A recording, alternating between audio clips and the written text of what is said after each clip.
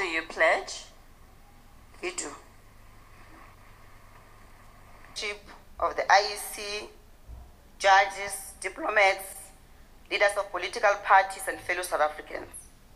The EFF commits itself to uphold the electoral code of conduct.